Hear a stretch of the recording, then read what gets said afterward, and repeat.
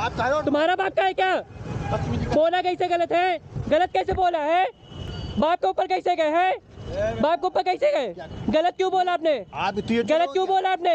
ये बैनर से आपके?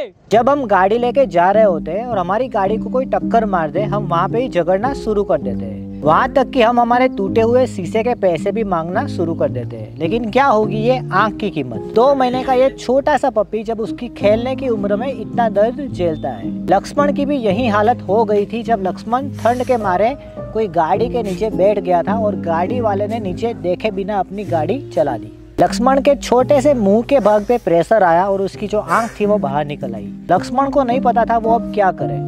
उसके पास उसकी माँ थी, लेकिन वो भी लाचार थी।